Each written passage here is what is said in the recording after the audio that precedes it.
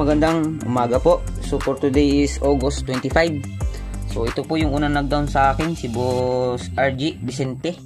So siya po yung unang nag-down payment ng 2,000 nung August 23 ng hapon. So ito muna yung magiging kanya. Ayan. Tapos sumunod po dito is kay Boss ano, kay Boss Rodrigo Grande. So ito po yung sa kanya. Bali kahapon din lang po siya nagpadala, down payment niya 2,000. Balance po is 1,500. Yan.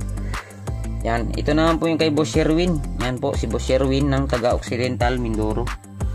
Yan, nagpadala siya kahapon ng Palawan. So full paid kaagad, 3,500. Bali, medyo masaklap lang. Pero first come first serve mga boss. Pero meron naman na siya para dito. Yung isa is wala pa, wala pa pong may-ari.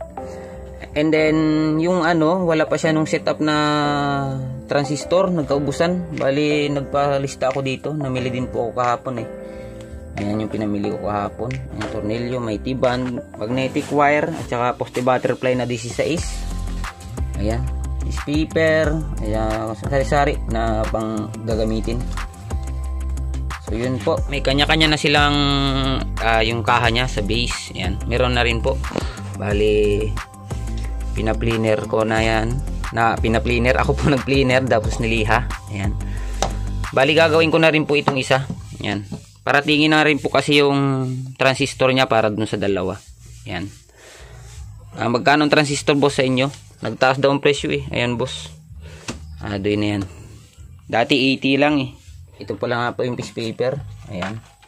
Tapos ito po is ita-trial ko lang po ito ha. Ito po yung may volume frequency sa next up po na video yan. So dito siya nakaset up. Siya yung may controlan pwede may na pwedeng pahinain pwedeng palakasin. So hindi ko po muna i-release yan. Uh, titesting ko muna kung ano yung ability niya bago natin i-release. So yun lang po muna